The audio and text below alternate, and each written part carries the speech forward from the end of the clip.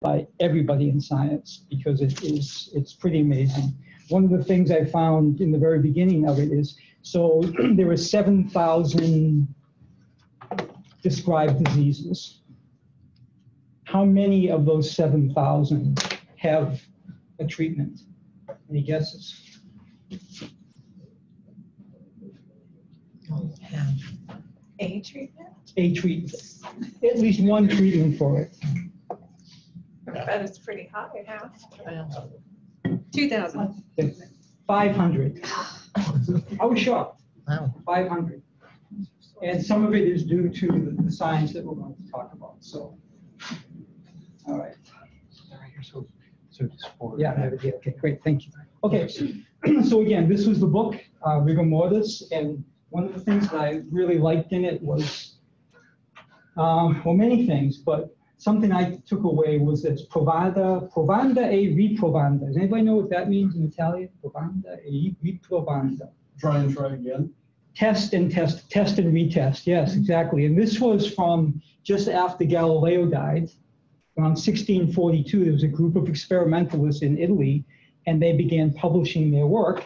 And their motto was test and test again. And I think that certainly holds true to what we're, what we're doing today.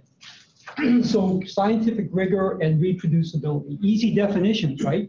Okay, so I looked them up. So NIH has a definition of scientific rigor.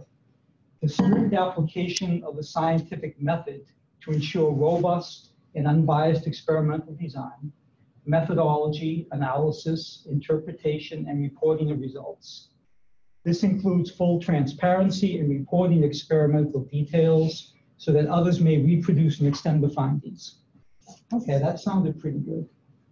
But then you get to reproducibility, and it's a different story. So this was from the NSF subcommittee on replicability in science. So reproducibility, according to them, refers to the ability of a researcher to duplicate the results of a prior study using the same materials as were used by the original investigator.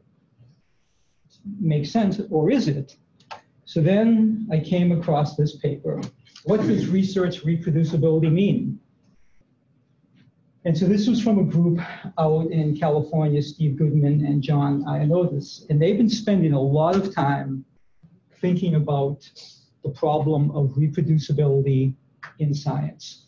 And a lot of this stems from the issues with preclinical research then not leading to treatments down the road. So they actually proposed a new lexicon for research reproducibility, and they've broken it down into three. Methods reproducibility, which captures the original meaning of the word, and they refer to this as the ability to implement as exactly as possible the experimental and computational procedures with the same data and tools to obtain the same results. they then coined res- results reproducibility, which was previously described as replication. So that's one of the issues. There are a lot of synonyms that one can use. And this is the production of corroborating results in a new study having followed the same experimental methods.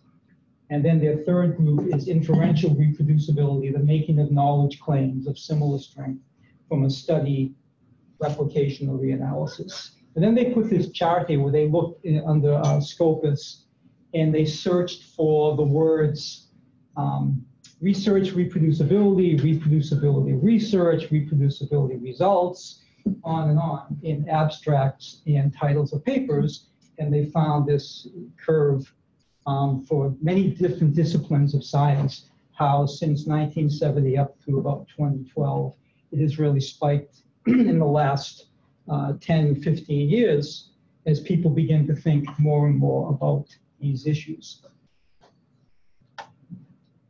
So if you're a fan of Sherlock Holmes, I am, and this was a, a recent book by Maria Konnikova called Mastermind, Discovering the Sherlock Holmes in All of Us. And this was a quote I took from it.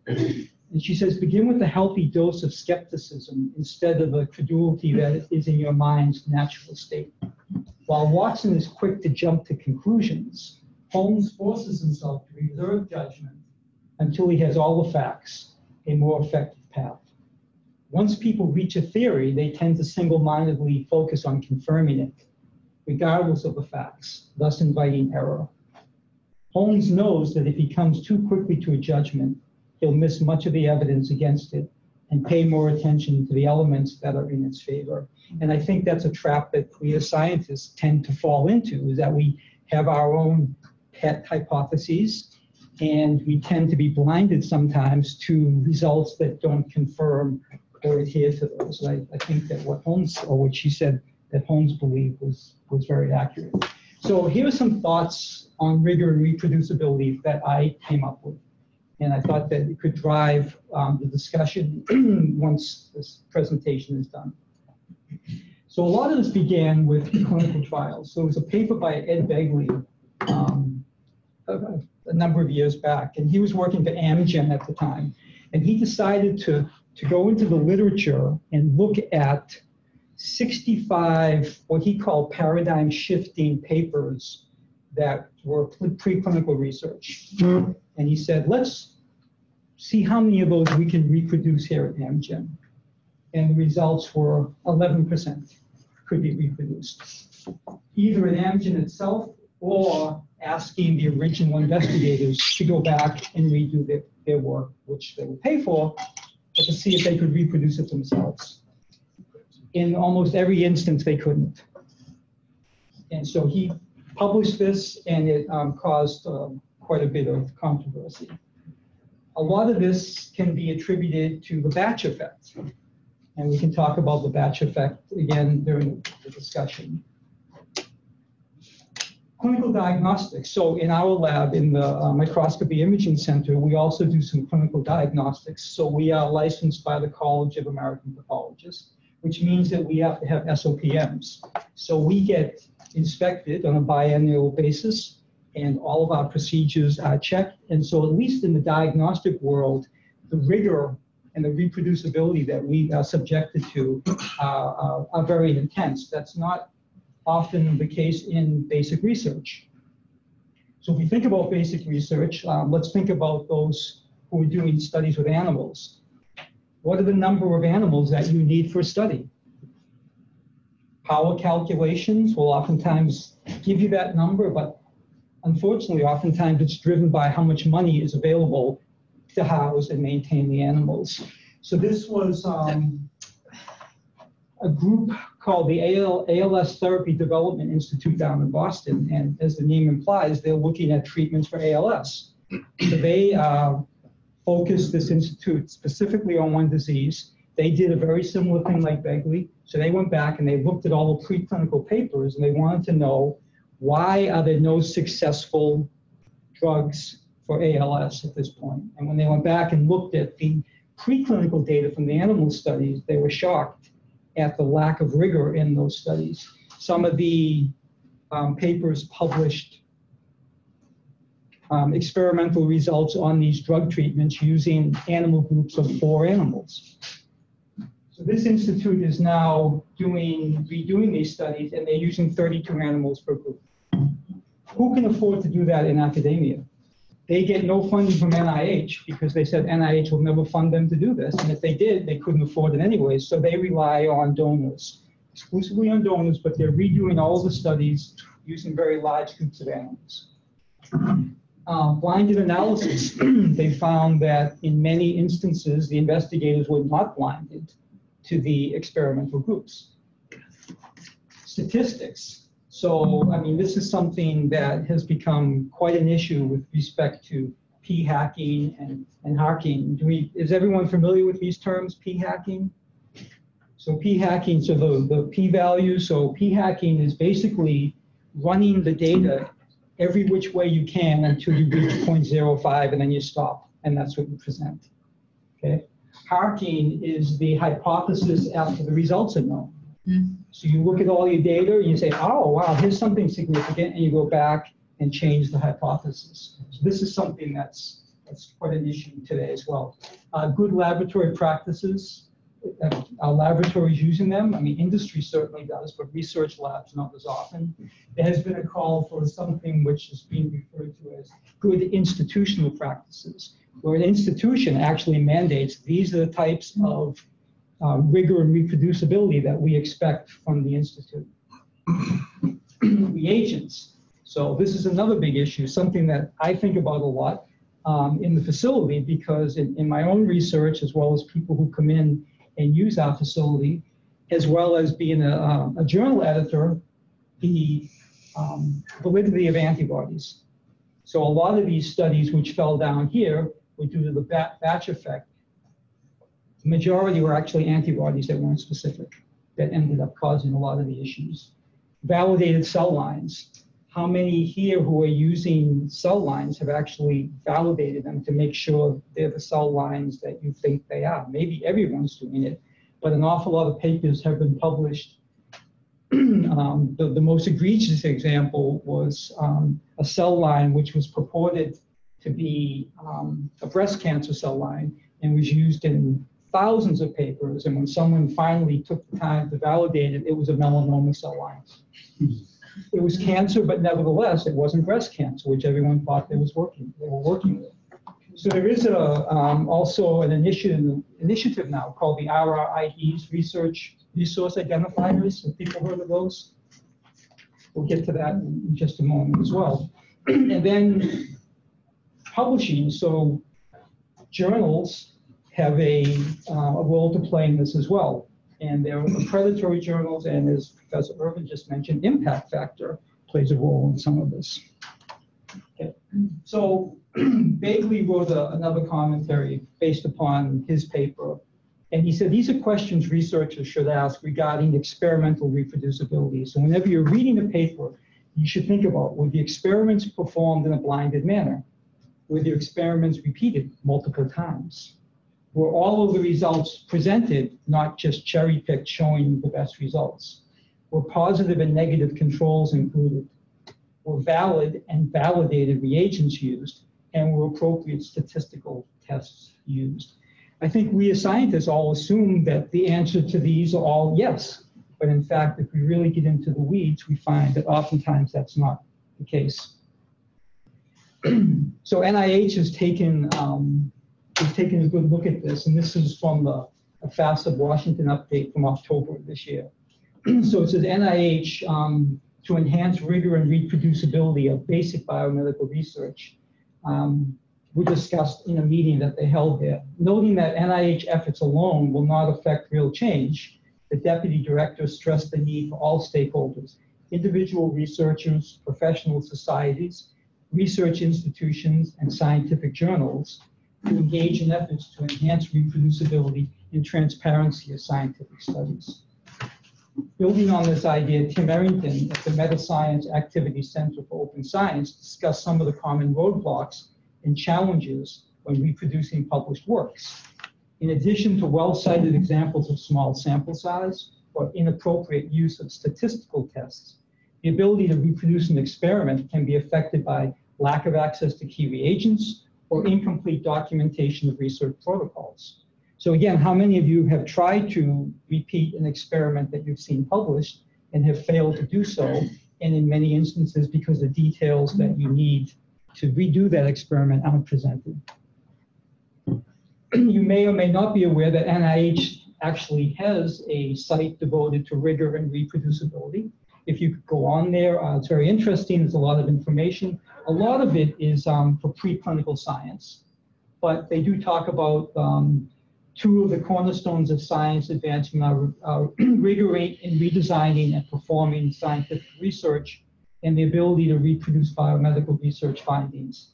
The application of rigor ensures robust and unbiased experimental design, methodology, analysis, interpretation, and reporting of results. So it's a nice website if you have a chance to go on and, and um, move around on it and see what they have to say. But one of the things that NIH has implemented that you're probably aware of is that since January of 2016, every grant now needs to follow these new guidelines. And one of them that I want to highlight here is the second one, which is design, um, rigorous experimental design for robust and unbiased results. But then a new attachment for authentication of key biological resources. So now you actually need to provide authentication of your cell lines and the specificity of antibodies. So NIH is, is taking a long, hard look at this. They do have a nice uh, resource chart that you can download And they do again talk about scientific rigor here. They give you the definition. And then again, under authentication, key biological reagents, and they tell you which ones you need to um, authenticate and how that needs to be done. Um, so with respect to authenticating reagents, this is that resource identification initiative. And this is from a, um, from a group that's looking to code all research reagents with a specific tag, much like a fingerprint. And so you could then look up a reagent that you're using. For instance, in this one, they've looked up a polyclonal GFAP from Vitrogen, an antibody, and it takes you into the website and then it gives you the catalog number, but it gives you then the, um, the RID, RRID number that was assigned to it. So in using these identification numbers in a manuscript, if someone has used an antibody and lists what this RRID number is, you can then look that up and know exactly which antibody they use, because that's one of the issues we tend to run into quite often with antibodies is the name of the antibody will be listed, but the exact clone or where it was from isn't there. So this is an initiative that some journals have started to um, to mandate in manuscripts that are submitted that you use RRIDs for most of your reagents. So that's again, journals are starting to do that, and journals uniting for reproducibility. So this is uh, a, from a Nature editorial from 2014, and they've come up with some guidelines, which they hope will encourage journals to use a checklist to ensure the reporting of important experimental parameters.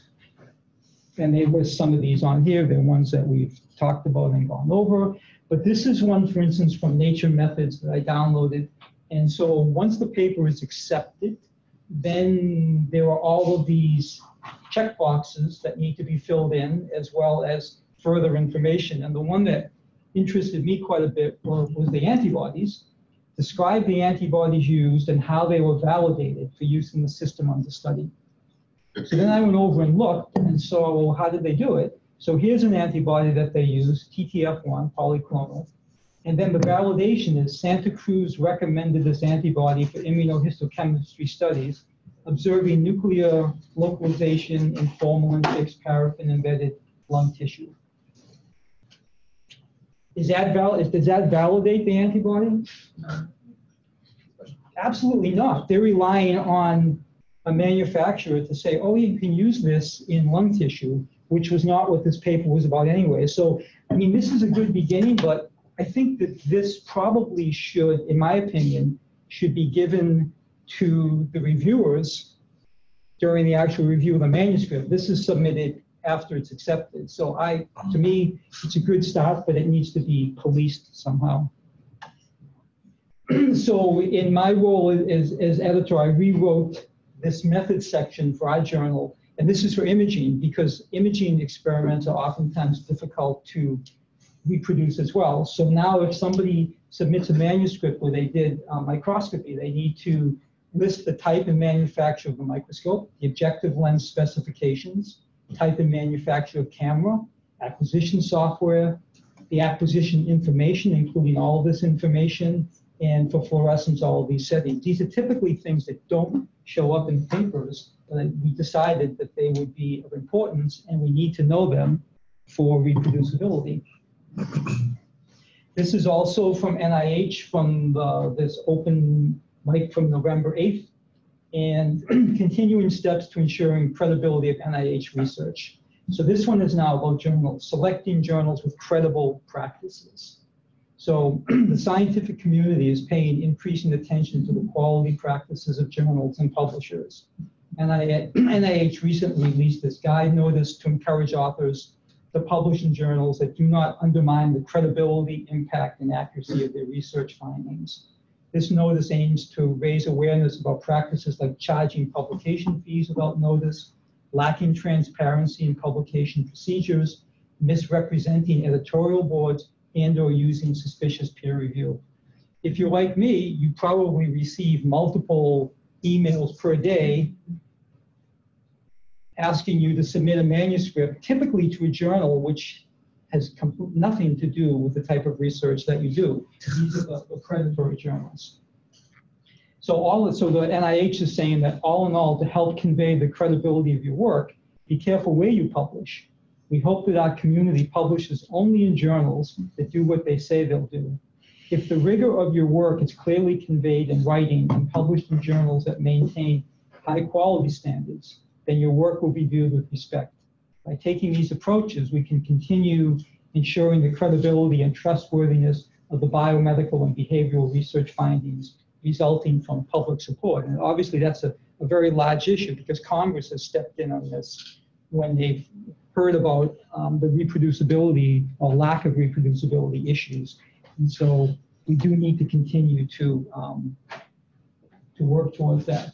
So this was just one, I don't know if you've seen this one, but um, this was an actual publication. So if you're a Seinfeld fan, you may know this um, episode on uromysitisis, which was a made-up term, and it was basically an episode in which Jerry uh, was in the parking garage, and basically they got lost, and he was there for a while, and he felt the urge that he had to go, and there was no restroom, and so he went, and the security guard happened to see him and took him away, and he said, "I have uromysitisis."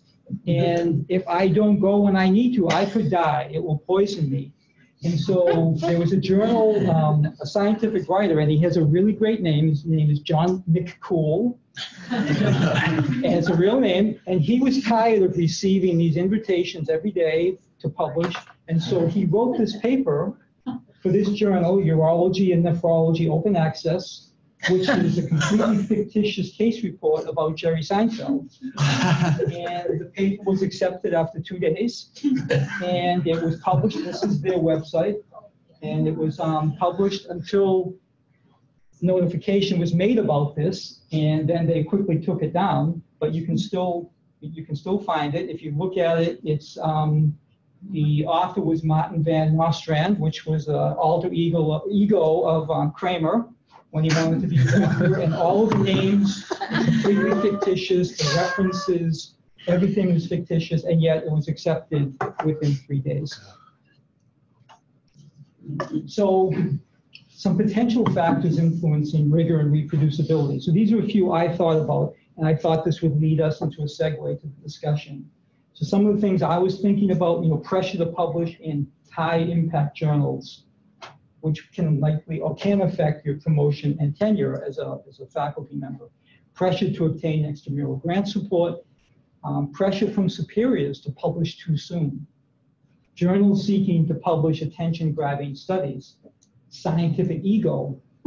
Again, from the book, In the Rat Race, um, Harris says, referring to scientists, they need to get their next grant, publish their next paper, receive credit for everything they do. They have stepped into a world where career motivations discourage best scientific practices.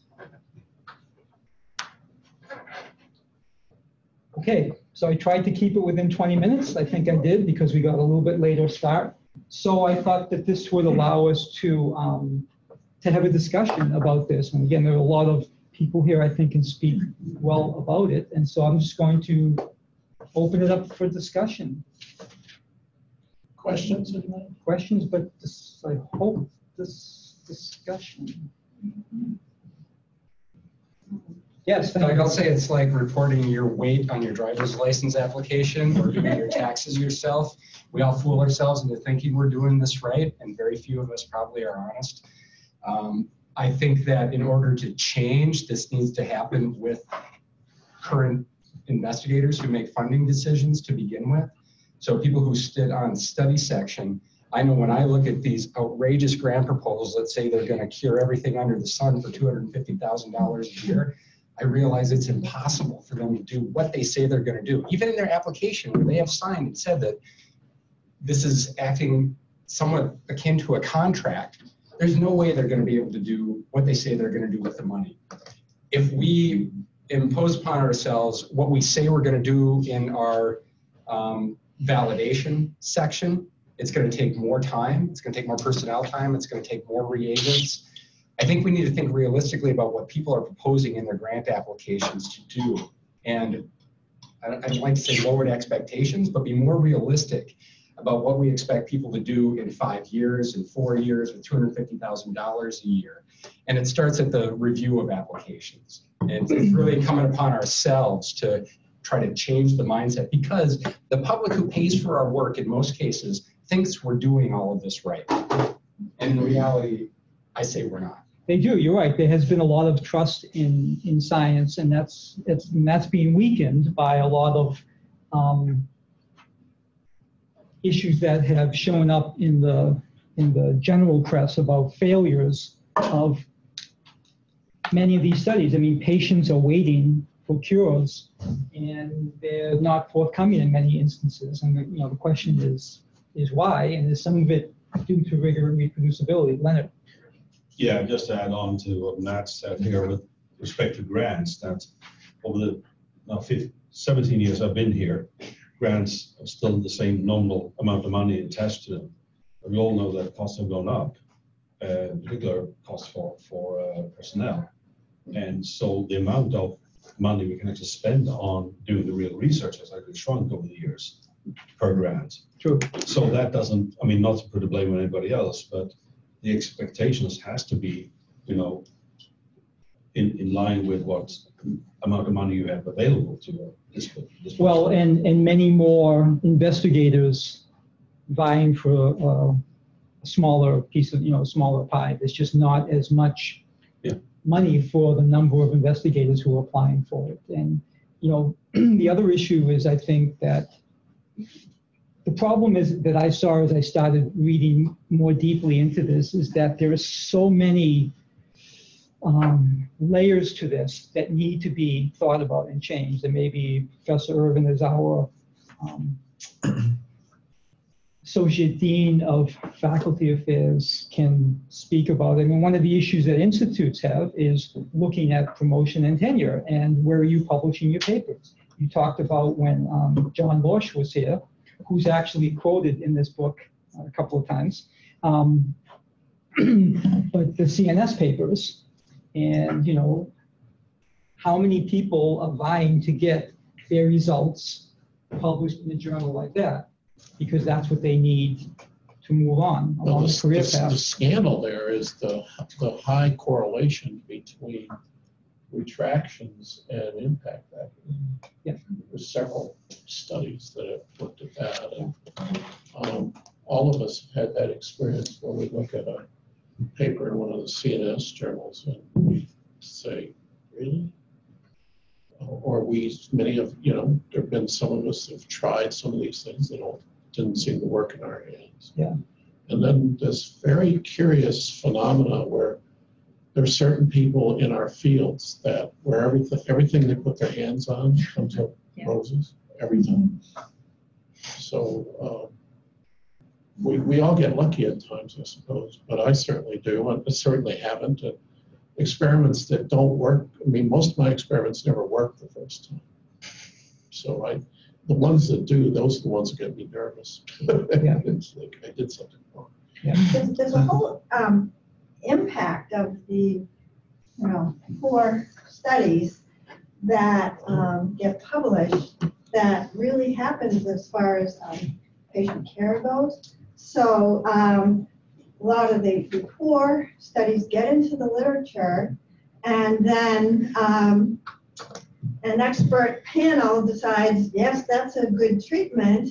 And next thing you know, it's in the supposedly evidence-based guidelines that, um, you know, that physicians and others are trying to follow. And so it's not just patients in a way that are waiting for treatments, it's the doctors are supposed to be and are trying to, for the most part, apply evidence-based medicine in their practice. And there are, you know, stuff that just does not work, not even, in, uh, doesn't work in the lab, and it definitely doesn't work in real life in, in practice. So it's a really serious problem.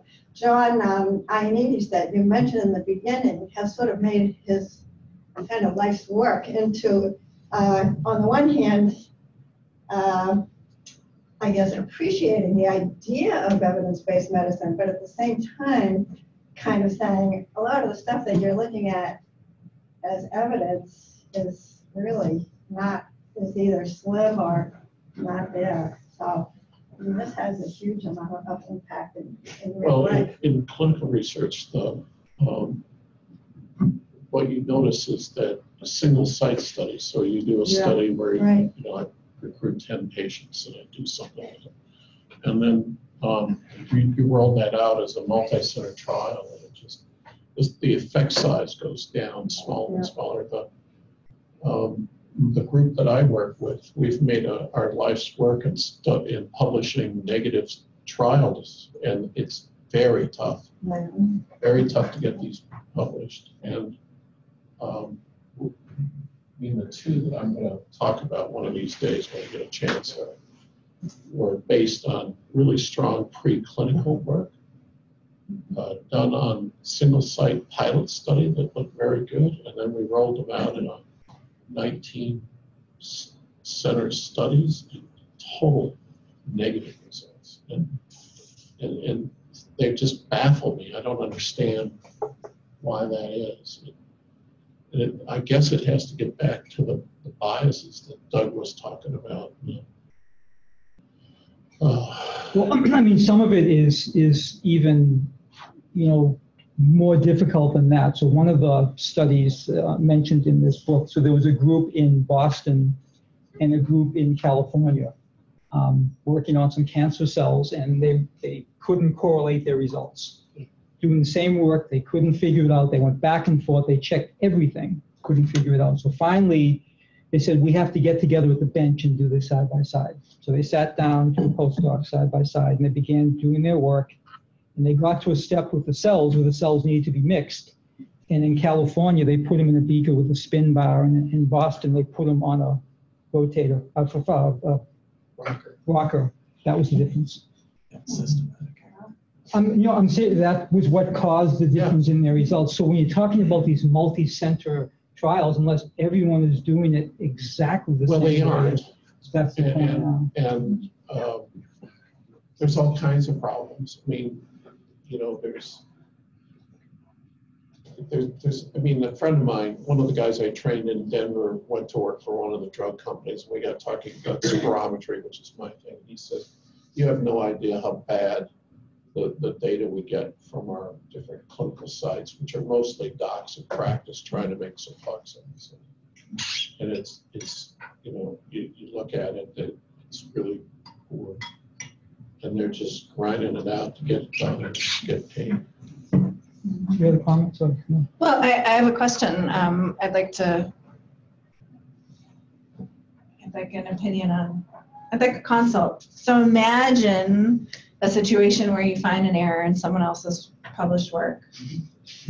Um, we're all talking about the challenges of policing ourselves. I think we all under, like, we agree that it's hard to do good science and it's important that we work together um, across sites to do good science. Um, sometime, I can think, I have an example myself, but certainly we've read recently about uh, cases where one researcher will bring to, to someone else, to an author's attention that there's an error. And the author doesn't agree that there's an error. And then you've got this position of like, of course the author didn't make an error, and of course the error is obvious to the external, to the person reading the published paper.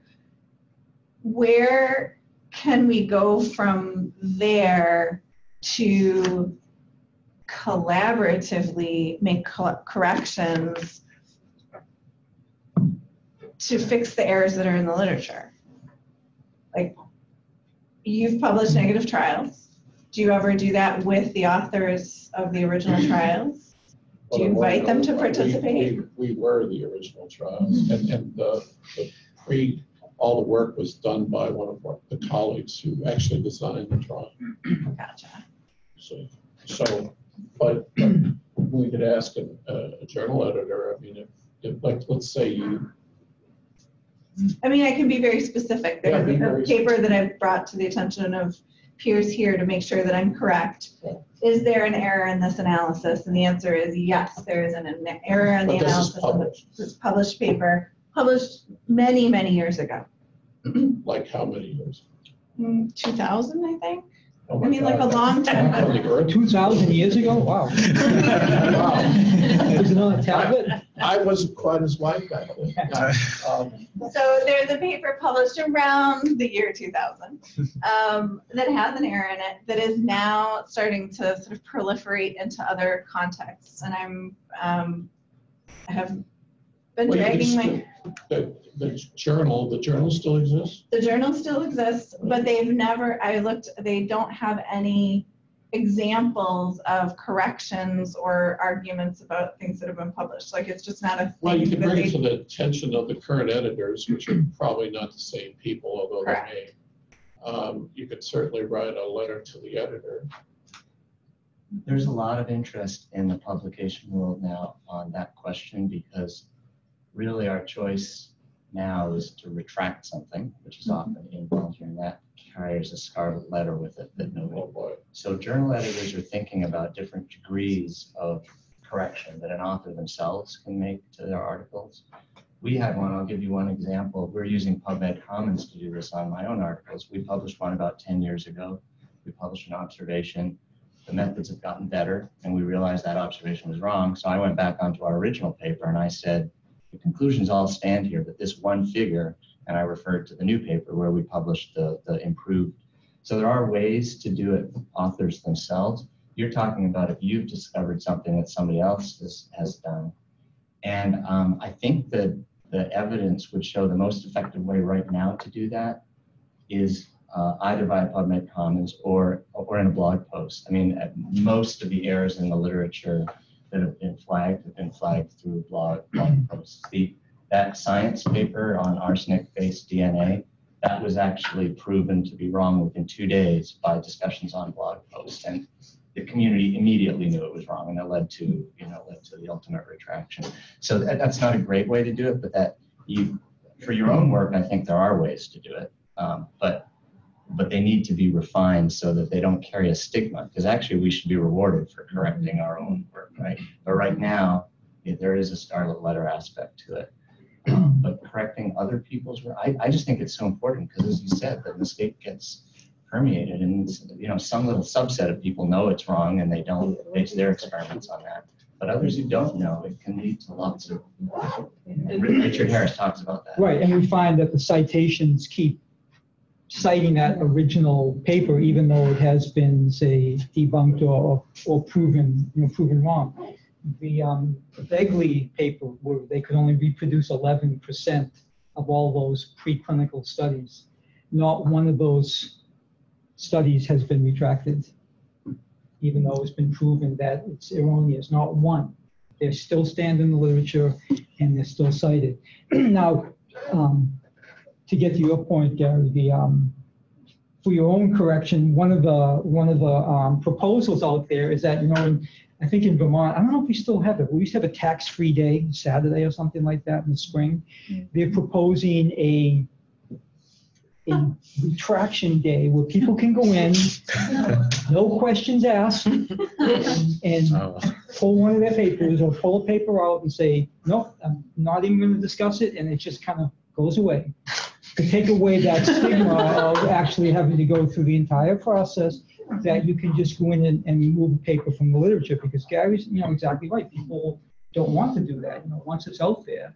But you have a, a much more serious issue, which is you're finding an error in someone else's work. And, and how do you, you know, how do you approach that? There's a pretty famous paper from about five years back in which um, researchers compared the leukocyte response to sepsis in humans and in appropriately validated mouse models and found that transcriptomic analysis found that there was no correlation between human and mice. It then called into question all immunologic research being done in mouse models. People looked at that and said that that's just not acceptable. And a, another group used the same data that had been deposited into public, public repositories and did an alternative statistical methods analysis and found that there was almost 100% correlation and published that as a new paper. So instead of going back to the editor and saying there was a fault in the statistical analysis, they actually Wow. ran the experiments themselves. They used validated methods. And so I would say it might be incumbent upon you to try to publish your analysis of their system, your data, whatever it is, in another journal. and have it be 17 years more recent and uh, see if that flies. Because that was really important to mouse immunobiology in general, to have someone come out and sort of alternative approach is actually more valid. That actually is where the blog, the blog refutations have been most effective. And there's a guy named Yoav Gilad who's done that for a couple of key papers from Eric Lander, for example, that have been just stupidly wrong. And he's gone in and actually taken the data and in his blog post reanalyzed it. So a key part of that is data accessibility. And, and that's something that some journals are sort of boldly pushing towards, but other journals are resisting because of uh, the the Doug's fifth bullet point, their scientific egos, that you, really shouldn't be able to publish your result with results without publishing the data. So exactly that kind of thing can go on. And, and that's a pretty non-threatening way to do it. If you take this, well, it's threatening, but at least, you know, you, you, you have the data, you, you're, you're backing up your, your contentions with the data. Um, but have, the data have to be available in order to do that. I think one of the things that's not sort of part of the conversation quite yet is, uh, not part of this conversation quite yet, is the relationships in the scientific community. So I know the person who wrote this paper and I, and I've told her I think it's wrong and she's told me that she thinks that it's not wrong in conversation before I did my research training. So at that time, I wasn't able to say, like, I wasn't able to really show her why I thought it was wrong. Now the data in the paper would let me redo another analysis and demonstrate where the mistake is. And I, and it's this like, okay, do I go back to the original journal? Do I try and like co-author a paper with this person to say like, this is where the mistake is? And those communications and, and like how, there's like no guidebook for, there's no like rules of there's- etiquette for, There's, um, that I have there's found. common sense. I have none of that. It's just, Okay, so, social common sense is not my thing. I do not know how it works. well, that's okay. I want a guideline. I think It's important to understand, you know, we all have our weaknesses. Um, So, so yeah, I mean, it would be, I guess as a colleague, you'd say, well, I could give her a chance, we could, here's my data, we could co-author something together. Um, She says no, then you, you gave her a choice anyway, and then I, I like the idea of publishing a paper about it, Mhm. frankly, whether it's in that journal or something similar. Um, You know, It's really hard though, when something's Oh, yeah. published already, to actually, the burden of proof is so much harder to argue against something Oh, that's published, because editors, editors don't want to admit they did anything wrong mm-hmm. either. So mm-hmm. I, I, I agree that's the most rigorous way to do it, mm-hmm. but that's not a good way for you to spend your time, because it's gonna, it's gonna take three or four times the amount of effort to get something to a publishable state. I was about to say that, the guy who did my PhD was doing that. There was a, a study done in UCSF that was not only in the literature, it was in the textbooks. Um, And he spent a fair bit of his career showing it was dead wrong. But the number of studies we had to do, in different animals in different settings, to consist, consistently prove that it was wrong. Could I say one more thing and then I'll shut up? I actually, No, Please. I actually think that a big part of the problem here is just our culture. And if we had a really robust culture of post-publication commentary, and we didn't have this mm-hmm. idea that because you published it in Journal of Immunology or Cell, it's correct, right? If we all sort of acknowledge that's not true, and we had this post-publication culture of commentary and realized that that results evolve and, and ideas change over time, there wouldn't be this stigma associated with being wrong. And I just, for some reason, biologists, they just can't handle that. And my, my daughter's a graduate student in philosophy. You should see how they rip each other apart. Mm-hmm. And it's just part of their culture. It's just part of being an academic and being able to defend yourself and being able to give and take. Mm-hmm. But somehow we're, we're very tender flowers in biology. We can't, we can't handle that. And, and it would be really good for science if we could. And if we realize that every study you know, that's just a, sh- that's just a snapshot in time and mm-hmm. every bit of science evolves. And, and if we had a system to sort of encourage that evolution, I think we'd be better off. That doesn't address your, The question, how do you deal with it The now? discipline I'm in was in, we trained in was vicious. We read we attack each other like crazy, but it's, it's not the, man. But I think that, while I agree hundred percent, it happens before publication. These are the kind of conversations that need to happen at Gordon conferences and Keystone Symposia and big international um, meetings where you actually can confront people in an open arena and not fight, but talk as scientists. And, and we have lost that. There was a person who was on my dissertation committee who has written a lot about this for the scientist. And um, it's just, the culture has changed in the time that I've, the 20 years since I earned my PhD. Um, we are a lot more quiet. We Defensive. Yes. are scared to offend. Is that what it is? It, you go to meetings and people don't ask the type of questions that they once change I've did. seen at the, at the meetings I've gone to in forty years is really stunning. It's gone from. And, and people won't talk about their recent work either. It's only published work at some meetings. It's- It's a shame. Used to be lineups to speak, and now it's hard to get anybody to ask it. I, I, I think it comes down to the bottom line, and that's money. Because again, you know, when grants are down to, everybody gets a score, pops a champagne cork, despite it's not fundable. Uh, it's kind of ridiculous. Um, in, in fact, most grants that get the score probably would probably been funded, you know, 20, 25 years ago. And, and uh, now we're down to some sort of lottery uh, to, to win uh, a grant. Um, and uh, you need to be friends with everybody in that uh, committee. You can't disturb any relationship. You can't run the risk of, of having anything happening to your grant. Um, and I think that's part of what is driving us to be very protective about our things. So the scientific ego is not a healthy ego anymore. I mean, I think clearly that this discussion is showing that, as it's mentioned in this book and in, in countless articles, that it's broken. Scientific research endeavor, as we do it, is kind of broken for, you know, some of the reasons that you mentioned right there. Is that it's not, I mean, when I started out as a student, uh, and as Charlie mentioned, things were much different. And it's, you know, it's, it's changed, um, it's changed dramatically, and you're right, it's can add another thing to this, and, and it's still a bit of a difference between uh, Europe and, and the United States. And the, that the lack of structural money in, in our system here in the United States, meaning that very few people actually have a secure basis on which they can do what they do in philosophy. Um, but they're probably less depending on, on grants in, in the way we are in, in biology and medicine.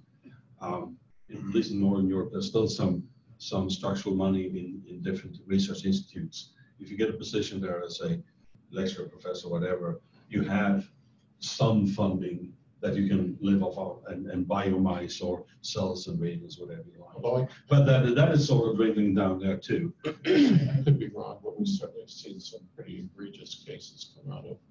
I'm not saying it's, it's not foolproof, of course not, but um, But, but the literature is very clear on all of this, and that is that, that it's the training environment. And I think one of the reasons we're doing, so I have to make a plug, one of the reasons we're doing these is to actually have open discussions about it and to provide um, people will be trained with, with, with viewpoint. Because in the end of the day, it's your reputation. And your reputation is everything, and once you lose that, as I've- seen in many cases, you're not getting it back. If you think about what incentivizes, just as I was just saying, those first bullet points, they're all just about incentives, right? And our incentive, and I think his last, that quote there is a great quote. Just the way science is incentivized now promotes bad behavior. It is. All right, guys, well, thanks for coming. Is that a point? Sorry, go ahead. Yeah. Well, I was just gonna, I mean, it's to that point where if you wanna, if you're in, newer in this, in the game, you have to, to get a grant, you gotta have your pilot funding, and your pilot projects are not really strong studies, but if you wanna keep moving on the track, you gotta publish them, right? And so you just kind of perpetuate this, this rat race, because you're publishing these premature studies, because you're forced to do that in order to, to show you're productive. But the other thing is, I think our system, the structure of our system promotes this, where if I want to be, if I want to not be on completely soft money, I have to be um, in a tenure track position and a PI, when, you know, so we, so we have all these people that have to be independent investigators.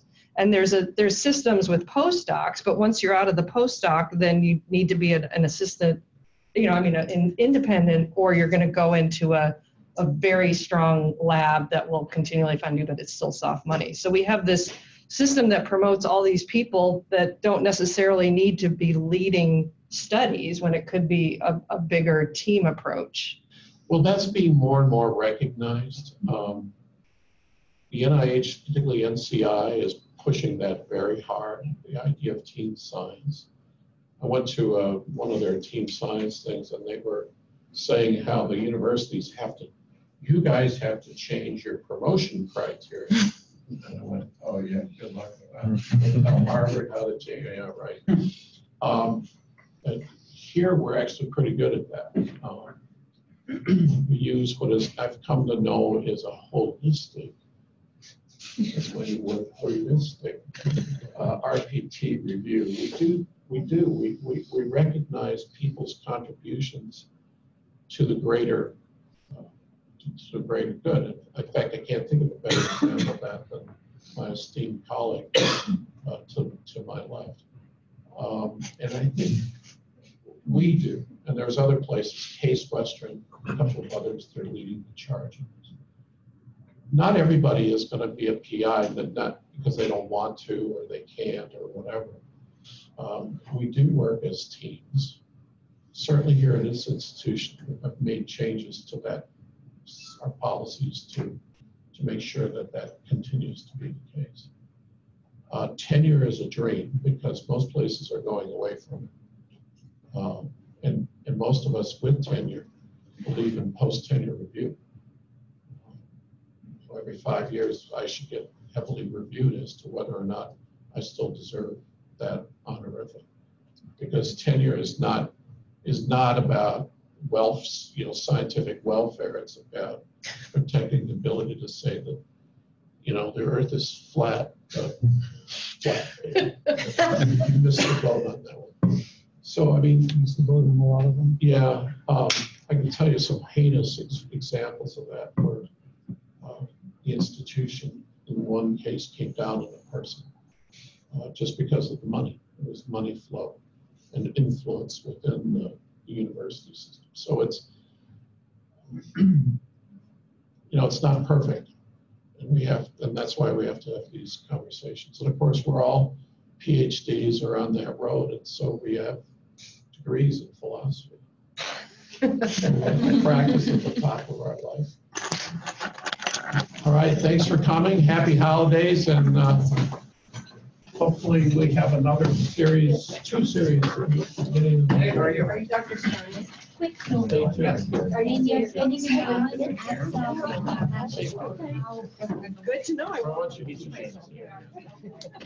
meet. Nancy I have a grant with I love it. Good job, Douglas. I moved. I tried this. You're out of your brains. Just turning around, Nancy there was like, no, here's idea. Yeah, I'm out of it. I'm very curious about the device on the That was great. table. 'cause I- This is fun. Yeah. We're gonna get more people involved. So that was for recording of the question. Yeah, yeah, we're kind of hesitating whether or not we should record the Q and A or if we just do it all. I'm just not sure, so. Statement or somebody, uh, that, and I'm really, you know, waiting. On our website, You can't- um, and I think it's, I'm not telling us what we're um, supposed to do. so I'll end up posting, I was actually talking to Jason on this. You know, that's one of the Um, I don't know who Jason is. That's okay. He was the guy that was setting all this up. We have to, we have to introduce it, we're trying to introduce it into our seminars.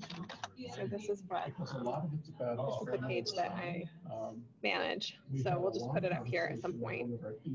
Um, oh wait, I did put it up. for student- You know, we're talking That's awesome. So you can listen, you can listen to Matt Poynter's, Dr. Poynter, who's back there, his, um, his one on NIH Biosphere. So then what I'll do is I'll take this down, I'll put the rigor reproducibility one up there, once I get it from Jason, the IT guy. Um, and I'll put it up there. So this is just a good site.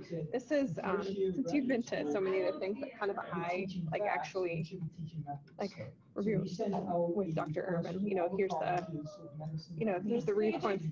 Okay, so you can go into the different ones. So this is the faculty development one that we were just on. Okay, and then um, this is the reappointment, promotion, and tenure. So, you know, the, you know, there's a promotion readiness, but your new CV for RPT, this is where that is. This is where I'm like not making eye contact because I have not made any progress on that. Yeah. I did submit a, I couldn't I've submitted a bunch of stuff, but I have not worked on my CV at all. It's a big- Do you remember, you were in the floor, right? On 311. Yeah. When he came in, do you Yeah. remember Dr. Pearson? Who was like, is there an administrator to do this? Yes. He's, he's really funny. He's pretty mellow. Oh, he emailed me the other day and he's like, can I register for this? I'm like, no, you didn't. And I'm like, and how's the CV coming along? And he's like, oh, you're that Aaron. I'm like, yeah. So it's just like, yeah. So just, you know, it's sometimes hard for people to, you know, when they, uh, I don't know if we should just do stop share. She came, we did the assay. Jason's not really talking. We touted the assay. I don't she wanna- left, And, and I they don't wanna- said, you know, if you'll do this assay. I don't know.